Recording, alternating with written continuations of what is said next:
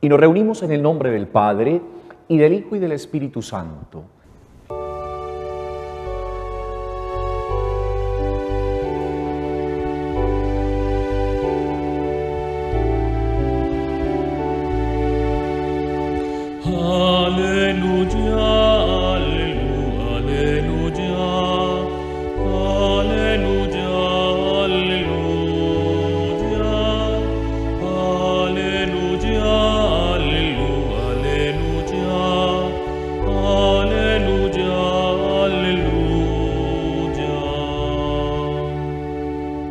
Hermanos, el Señor esté con todos ustedes. Lectura del Santo Evangelio según San Mateo. En aquel tiempo, acercándose Pedro a Jesús, le preguntó, Señor, si mi hermano me ofende, ¿cuántas veces tengo que perdonarlo? ¿Hasta siete veces? Jesús le contestó, no te digo hasta siete veces, sino hasta setenta veces siete. Por eso se parece el reino de los cielos a un rey que quiso ajustar cuentas con sus criados. Al empezar a ajustar, le presentaron uno que debía diez mil talentos. Como no tenían con qué pagar, el Señor mandó que lo vendieran a él con su mujer y sus hijos y todas sus posesiones y que pagara así. El criado, arrojándose a sus pies, le suplicaba diciendo, Ten paciencia conmigo y te lo pagaré todo. Se compadeció el Señor de aquel criado y lo dejó marchar perdonándole la deuda. Pero al salir el criado aquel encontró a uno de sus compañeros que le debía cien denarios y agarrándolo lo estrangulaba diciéndole, págame lo que me debes.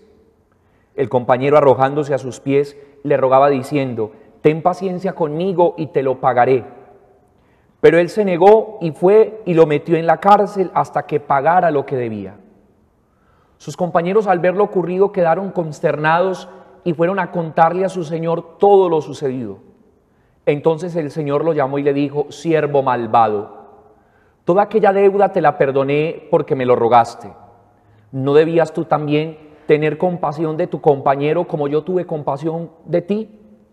Y el Señor indignado lo entregó a los verdugos hasta que pagara la deuda.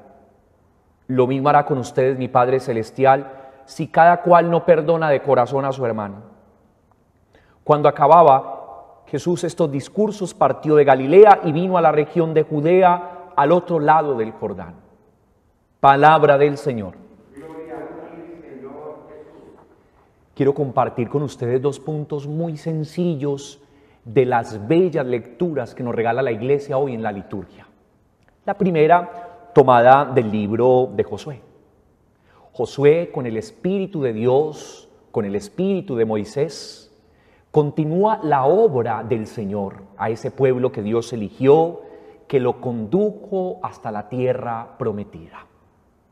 La primera lectura de hoy a uno le da la sensación que se ha detenido como en una literatura muy poética. Está hablando de la llegada del pueblo casi que sin dificultades a la tierra que el Señor les había dicho. Pero uno por historia y por Biblia se da cuenta que el pueblo tuvo que librar miles de batallas y pasar miles de dificultades para poder alcanzar el sueño de Dios y su propio sueño. Ya no ser un pueblo nómada, sino un pueblo establecido en una tierra que manaría leche y miel. Y narra cómo hay ahí incluso una bella liturgia. Llevan el arca de la alianza, los sacerdotes adelante, cruzan el Jordán y de nuevo ocurre aquello que nosotros conocíamos cuando el pueblo sale de la esclavitud de Egipto y el mar se abre en dos. Lo mismo ocurre con el Jordán. Ellos están recordando la Pascua liberadora de Dios, el paso de Dios, la transformación de Dios, del Dios que los conduce a una tierra de libertad, del Dios que rompió sus cadenas. ¿Y cómo podemos nosotros aplicar eso hoy a nuestra vida? En primer lugar, nosotros hay veces pensamos que los caminos de Dios son caminos sin dificultad. Cuando uno lee esta historia, uno dice, pero bueno, y todo lo que cuenta la palabra de sus luchas. Pero ¿sabe qué tuvo el pueblo de Israel junto a los que le dirigían, Moisés, Josué? Supieron distinguir los signos de los tiempos, leer las contrariedades de la vida, cada una de las situaciones que pasaban en lógica de fe. Por eso cuando se dice que el Jordán se, se, abrió, se secó para que el pueblo cruzara, algunos biblistas dicen que incluso esto fue un fenómeno natural. Pero incluso en las cosas simples de la vida, los hombres de Dios sabemos distinguir la presencia del Señor. Dios actúa porque Él mismo es quien mueve todo cuanto hay en la naturaleza. Segundo lugar, creo que esta primera lectura de hoy nos recuerda la Pascua única y definitiva en la que nosotros los cristianos nos sentimos victoriosos, es la Pascua de Cristo. Hemos sido sumergidos en la muerte de Cristo. Cristo ha pasado también por las aguas de la muerte, pero ha resucitado y nos ha liberado a una vida nueva. La Pascua de Cristo es nuestra Pascua. Hoy cantamos las victorias de Dios. Hoy cantamos la victoria de Dios sobre su pueblo, la Pascua liberadora de Dios en Jesús de Nazaret. Además, segundo punto, quisiera detenerme en el Evangelio. Hoy se resume este Evangelio en una palabra, perdón. Perdón es lo que necesitan nuestras naciones que están rodeadas de conflicto y de guerra. Perdón es lo que necesitan nuestras familias donde hemos crecido desde pequeños con resentimientos y divisiones. La palabra perdón es la que necesita nuestro país para dar la página en las situaciones adversas que hemos vivido de violencia y de momentos de desesperanza. Perdón es lo que necesitamos en nuestro interior para incluso, aunque eh, redunde la idea, perdonarnos a nosotros mismos. Hay veces Dios ya nos ha perdonado, pero nuestras ideas recurrentes, nuestros pensamientos nos siguen condenando por nuestros errores. Saben, el mundo en ocasiones ha elegido el odio y el odio conduce a la muerte. Cada vez que una persona deja que su corazón se llene de odio, de resentimiento, se enferma, pierde la paz de Dios, la mejor opción es el perdón, así cueste, así duele. Cristo nos ha enseñado el perdón cómo se debe dar. Supo perdonar a sus verdugos incluso cuando lo habían sometido a la humillación y a la cruz.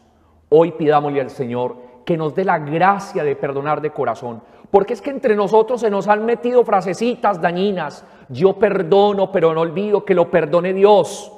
Pero necesitamos los creyentes mostrar que hemos recibido en nuestro corazón a un Dios que nos lo ha perdonado todo si Cristo nos ha perdonado todo, si Cristo ha pagado nuestra deuda, también nosotros deberíamos perdonar a nuestros hermanos.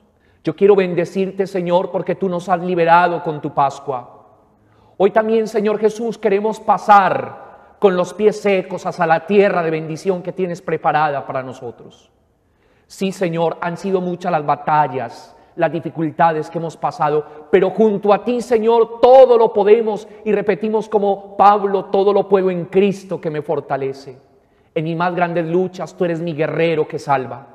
Hoy, Señor Jesús, te damos gracias porque con tu Pascua has roto para siempre las cadenas que nos esclavizaban, nos has liberado del pecado y de la muerte. Señor, te pedimos perdón por las veces en que no hemos tenido un corazón abierto a la reconciliación con nuestros hermanos, porque hemos mentido cuando decimos amarte, pero condenamos y juzgamos al otro. Dame entrañas de misericordia. Ayúdame a mirar a los demás, Señor Jesús, con tus ojos. Ayúdame a sentir como tú sientes. Ayúdame a amar como tú amas. Amén.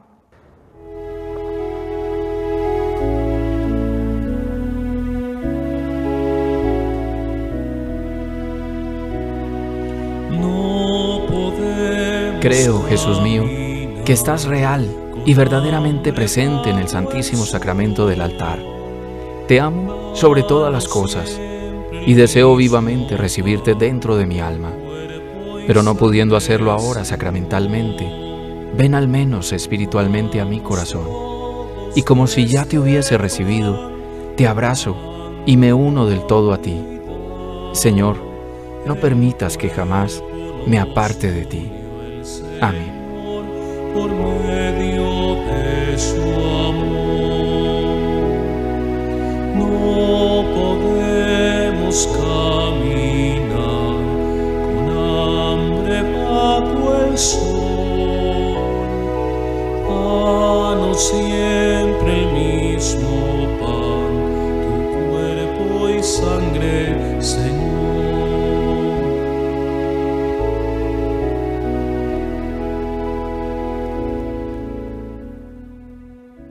les bendiga el Señor que tanto los ama, Padre, Hijo y Espíritu Santo, y les acompañe siempre. En el nombre del Señor pueden ir en paz.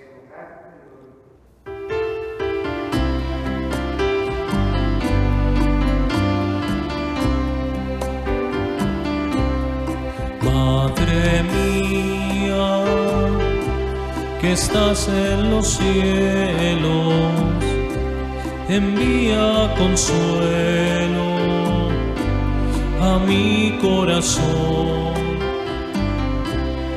Cuando triste, llorando te llamo